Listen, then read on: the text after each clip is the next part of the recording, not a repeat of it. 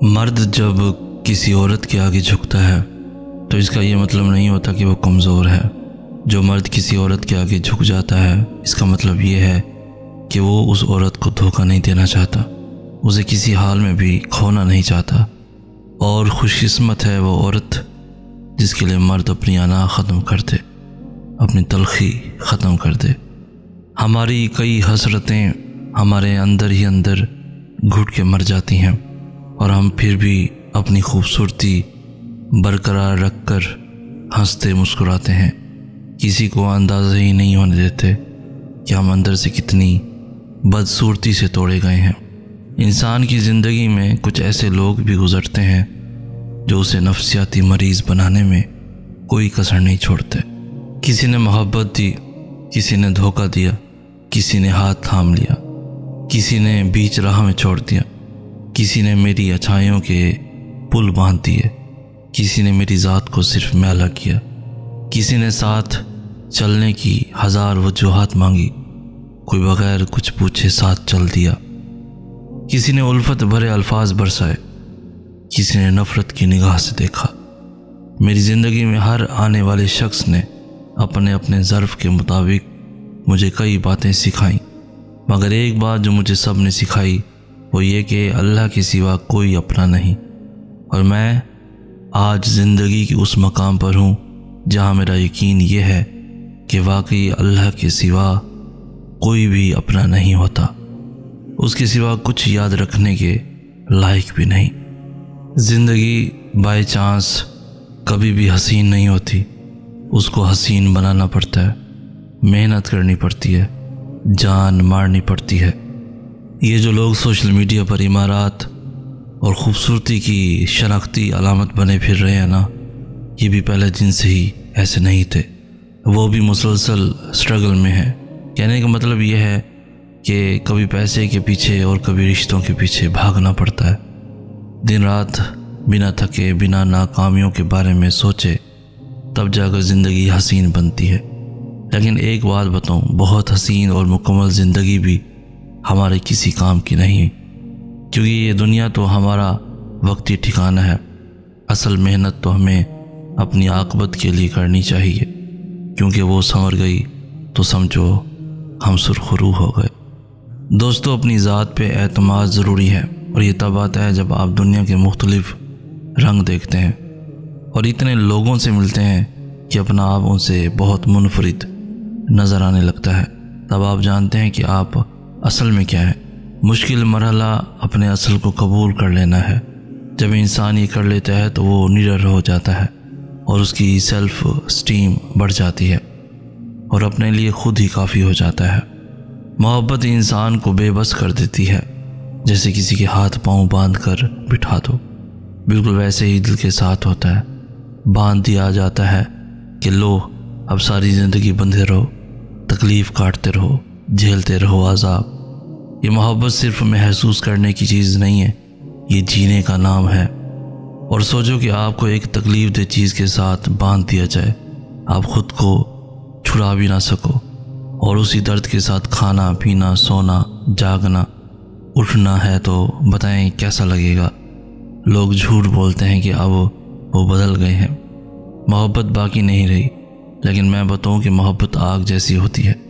جس کے دامن میں لگ جائے، اسے خاک کیے بنا نہیں چھوڑتی۔ اور جو خاک ہو جائے، اسے دوبارہ کون بنائے؟ یاد رکھو، صرف تنہائی میں انسان مکمل ہوتا ہے۔ محفلوں میں، ہجوم میں، دوستاں میں، چاہنے والوں کی مجلس میں، شام، شہر یارہ میں انسان بولتا چلا جاتا ہے۔ اپنے آپ کو دوسروں سے برتر ثابت کرنے کے لیے بولتا چلا جاتا ہے۔ کچھ نہیں سیکھتا، کچھ حاصل نہیں کرتا۔ سیکھنے اور حاصل کرنے کے لیے خاموش رہنا، تنہا رہنا ضروری ہے۔ جو میری یاد کو سینے سے لگا کے روتا ہے، میرا خیال ہے مجھ کو گنوا کے روتا ہے۔ اسے تو یہ خیال تھا میں جان نہ دے پاؤں گا۔ بتائے کیوں وہ مجھے آزما کے روتا ہے۔ بھلا کے لوگ تو اپنوں کو خوش سے رہتے ہیں۔ یہ میرا دل ہے کہ اس کو بھلا کے روتا ہے۔ تمام دن جو ہنساتا ہے شہر والوں کو وہ سارے شہر کو آخر سلا کے روتا ہے۔ میں کیسے مان لوں؟ اس نے بھلا دیا ہے مجھ کو، جو رات بھر میرے خوابوں میں آ آ کے روتا ہے۔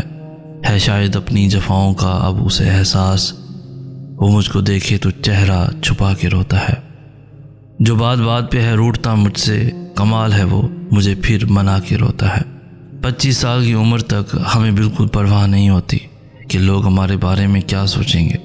پچاس سال تک ہم اس ڈر میں جیتے ہیں کہ لوگ ہمارے بارے میں کیا سوچیں گے۔ اور پچاس سال بعد ہمیں پتہ چلتا ہے کہ حقیقت میں تو ہمارے بارے میں تو کوئی سوچ ہی نہیں رہا۔ اشک ناداں سے کہو، بعد میں پچھتائیں گے۔ آپ گر کر میری آنکھوں سے کدھر جائیں گے؟ اپنے لفظوں کو تکلم سے گرا کر جانا۔ اپنے لہجے کی تھکاوٹ میں بکھر جائیں گے۔ تم سے لے جائیں گے ہم چھین کے وعدے اپنے۔ اب تو قسموں کی صداقت سے بھی ڈر جائیں گے۔ ایک تیرا گھر تھا، میری حد مسافت، لیکن اب یہ سوچا ہے کہ ہم حد سے گزر جائیں گے۔ اپنے افکار جلا ڈالیں گے، کاغذ کاغذ۔ سوچ مر جائے گی تو ہم آپ بھی مر جائیں گے۔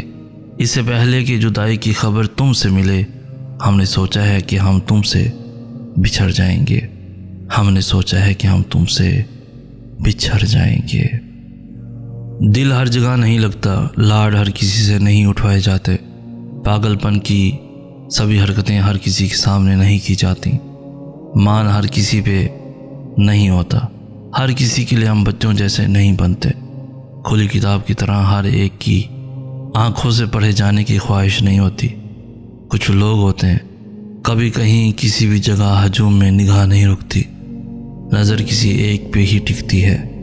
سمجھنا چاہیے کہ دل ایک نامعلوم جزیرہ نہیں جو ہر کشتی کو پناہ دینا چاہے۔ اللہ سے انسان نقصان اور فائدے کے لیے کمٹمنٹ نہیں کرتا۔ اپنے اور اللہ کے اعتبار کے تعلق کو مضبوط کرنے کے لیے کرتا ہے۔ ہم اللہ سے وعدے کر کے چند دن میں توڑ دیتے ہیں۔ اگر تم اللہ سے کوئی وعدہ کر لیتے ہو اور مقررہ گھڑی آنے پر تمہارا دل کمزور پڑنے لگ جائے۔ تبھی اس وعدے کو نبھانے کی کوشش کیا کرو۔ اللہ کو تم سے کوئی بھی چیز چھین لینا مقصود نہیں ہے۔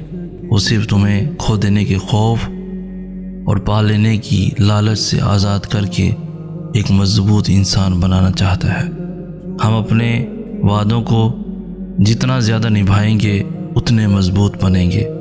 اور آخر میں اللہ خود ہی کوئی راہ نکال کے ہمیں ہماری محبوب شے لوٹا دے گا۔ کبھی کبھی ہم کتنا بھاگتے ہیں، مسلسل بھاگتے ہیں۔ کبھی لوگوں سے تو کبھی خود سے، اور کبھی تو ان لوگوں کے پیچھے بھی بھاگتے ہیں جو ہمارے کبھی تھے ہی نہیں۔